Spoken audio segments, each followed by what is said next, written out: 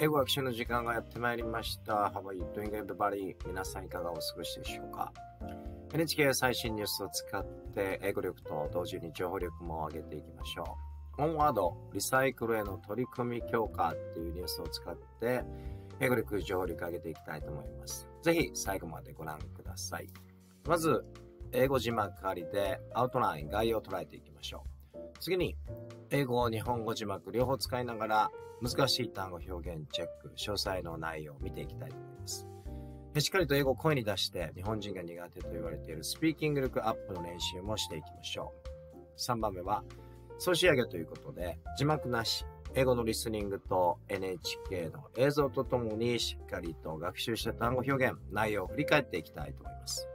学習の際、5W1H を意識するといいと思います。When, where, who, what, why, how っていう疑問詞ですけれども、こういった疑問の、えー、答えを見つけるように、えー、しっかりとですね、疑問を持ちながら見ていくと集中力も上がっていいかと思います。研究家チャンネル、いいなと思った方はぜひチャンネル登録ボタン、高評価ボタンのクリックよろしくお願いいたします。それでは NHK 最新ワールドニュースを使いながら英語力と情報力を上げていきましょう。Let's get it started. それでは左側の NHK ワールドニュース、右側の英語字幕ありで見ていきましょう。読まれているところ、このようにカーソルを合わせていきますので、必要な方は参考にしてみてください。字幕がなくても聞き取れそうだ。聞き取り挑戦してみようという方は字幕は無視して、左の NHK ワールドニュースだけ集中してみていただければいいと思います。それでは、Let's try to understand the outline of this NHK World News with English subtitles at first. Let's try. The fashion industry gets a lot of criticism for its significant wastefulness. Some of Japan's biggest brands are getting more serious about the problem. They are making a bigger effort to recycle and repurpose their own used clothes. Apparel maker Onward Kashiyama accepts used garments from consumers at its brick and mortar outlets and online. It sells some of them secondhand at lower prices, and it recently started using material from other items to make hats and bags. Every manufacturer has a responsibility to recycle its own products. Textile maker Teijin Frontier developed a technology that makes it easier to recycle sportswear and other clothes containing stretch fabric. The industry ministry is aiming for a 25% cut in the amount of clothes thrown out by households over the 10 year period from fiscal 2020 to 2030. まず字幕借りて見てみましたけれども、えー、オンワードさんですね。 えリサイクル、リユースに力を入れるというこのニュース。では次は、英語、日本語を使いながらしっかりと英語を声に出して、英語を話す練習をしながらスピーキング力アップ。そして単語表現、内容を見ていきましょう。ではまず、この最初の部分ですね。この The Fashion Industry Own Used Clothes。ここまで一緒に音読をして、しっかりと英語を話す練習をしながら内容を見ていきましょう。The fashion industry gets a lot of criticism for its significant wastefulness. Some of Japan's biggest brands are getting more serious about the problem. They are making a bigger effort to recycle and repurpose their own used clothes. ということで、ファッション業界、その著しい無駄遣いについて多くの批判を受けている。日本の大手ブランドの中には、この問題に真剣に取り組むようになっているところもある。 えー、彼らは自社の使用済み医療をリサイクルし、再利用するため取り組みを強化しているという初めのことですね。それでは、えー、ここを見ていきましょう。ファッションインダストリーズですね。えー、ファストファッションと言われて、まあ、大量生産、大量消費。まあ、これでものすごいゴミが出る。ウェイストフルネスですね。えー、ものすごい無駄遣いだということで、クリティシズム、批判も受けている。えー、そこであ日本のですね、Japan's biggest brand、まあ、大きなファッションブランドが getting more serious about the problem その問題にもっとですね、serious、真剣に取り組むようになってきている。どう取り組むかというと、リサイクルですね、リサイクル。そして、リパーパス their own used clothes。clothes。えー、古くなった古着をですね、もう一度使ったり、再利用する。そういう取り組みを強化している。それでは、えー、アパレルメイクオンワードからですね。ハーツバックス、ここを音読して、英語力を、スピーキング力を高めながら、しっかりと内容を見ていきましょう。アパレルメイクオンワード、カシアム、アクセプト、ユーガム、ガムツ、フォームカスマス、アッツ、ブリック、アンド、モーター、アウトライン、アウトレッツ、アンド、オンライン。It sells some of them second-hand at lower prices and uh, recently used using material from other items to make hats and bags.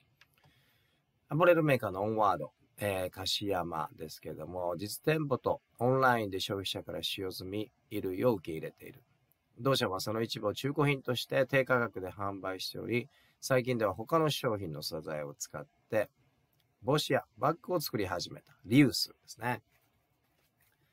それでは、えー、ここを単語表現見ていきましょう。ガーメンツですね。えー、この単語を発音チェックしておきましょう。ガーメンツ。アイテム of clothing。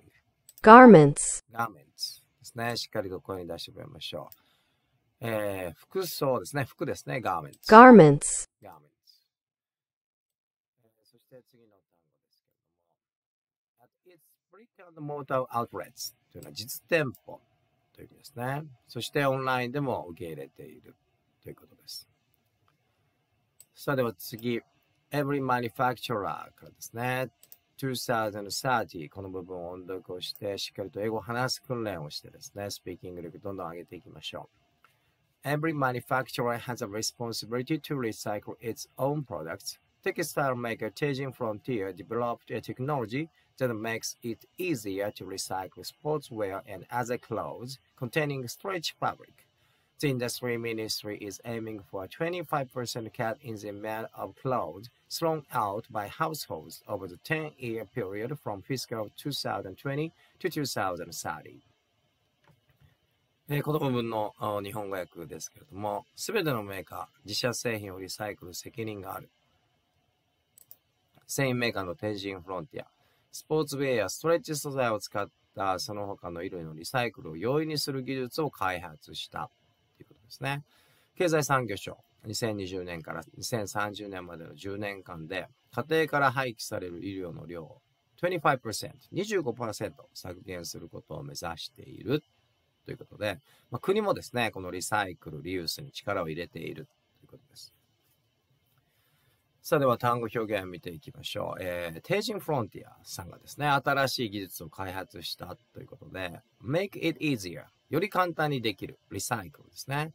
えー、そして、containing 含んでいる、stretch fabric ストレッチというのは伸び縮みする。着心地がいいやつですよね。スパンデックスなんか、スパンデックスヤーなんかが入っている。そのファブリック。まあ、生地、そういうものを含むもの難しいと言われていましたけれども、それをリサイクルする技術、テージンフロンティアさんがまあ開発をしたということです。そして、えー、The Industry Ministry、経済産業省も aim for というのを目指すんですね。25% cut。25%。2020年から2030年までの10年間で、households、家庭から出るその clothes ですね。えー、医療関係のゴミというもの。それを25%減らす、こういう目標を掲げていると。さあ、では、英語、しっかりと話しながら、英語を話すことになれて、スピーキング力アップ、そして単語表現ですね、しっかりとチェックをしながら、日本語字幕も使って、しっかりと情報力もアップできたんではないでしょうか。さあ、では最後、総仕上げということで3番目ですね。今度は字幕なし。英語のリスニングと NHK ワールドニュースの映像とともにしっかりと学習した単語表現、そしてニュースの内容を振り返っていきましょう。Let's try to understand every details of this NHK World News this time without English subtitles. Let's try to understand every details only listening English with NHK World News footage. Let's try it. さあ、それでは集中して振り返っていきましょう。Let's check this out. The fashion industry gets a lot of criticism for its significant wastefulness. Some of Japan's biggest brands are getting more serious about the problem. They are making a bigger effort to recycle and repurpose their own used clothes. Apparel maker Onward Kashiyama accepts used garments from consumers at its brick and mortar outlets and online. It sells some of them secondhand at lower prices, and it recently started using material from other items to make hats and bags. Every manufacturer has a responsibility to recycle its own products. Textile maker Teijin Frontier developed a technology that makes it easier to recycle sportswear and other clothes containing stretch fabric. The industry ministry is aiming for a 25% cut in the amount of clothes thrown out by households over the 10 year period from fiscal 2020 to 2030. さあ、いかがだったでしょうか？字幕なしで見てみましたけれども、学習した単語、表現、そして詳細内容、しっかりと英語のリスニングで理解できましたでしょうか？何度も英語を聞いて、英語のスピード、アクセント、発音、リズムに耳を鳴らしながら、リスニング力アップ、そして知らない単語、表現をしっかりとですね、たくさん覚えながら、語彙力、表現力も上げていきましょう。あと、日本人が苦手と言われているスピーキング力。日本に住んでいるとなかなか英語を話す機会ありませんけれども、音読練習をしたり、英語の上手な人の真似をして、シャドーイングをして一緒に話したりですね。とにかく慣れ必要ですので、英語をたくさん話す練習をして、スピーキング力もアップしていきましょう。さあ、いかがだったでしょうか、えー大手のですね、今回はオンワードさんですけれども、服のリサイクル、リユースに力を入れて、まあ、大量消費、大量生産、大量消費、えーこれを何とかしようという取り組みを強化している、こういうニュースでした。え研究家事チャンネル。こんな感じで最新のニュースを使いながら、英語力と、そして情報力アップできる、そんな動画を配信していますので、いいなと思ったらチャンネル登録ボタンのクリック、高評価ボタンのクリック、コメントなんかもよろしくお願いいたします。一緒に英語力、情報力上げていきましょう。Thank you very much for watching my video to the end. Let's improve English skills and expand information knowledge at the same time while learning English. Thank you for watching. Have a good day. Goodbye.